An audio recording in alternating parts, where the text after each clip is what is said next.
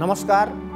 Medical mask वा बजारमा उपलब्ध कपडाका बाहेक अन्य मास्कहरू एकपटक मात्र प्रयोग गर्न बनाइएका मास्कहरू हुन्। यस्ता मास्कहरू धोएर फेरि प्रयोग गर्न मिल्दैन। कपडाको मास्क चाहिँ राम्रोसँग धोएर घाममा सुकाएपछि पुनः प्रयोग गर्न सकिन्छ।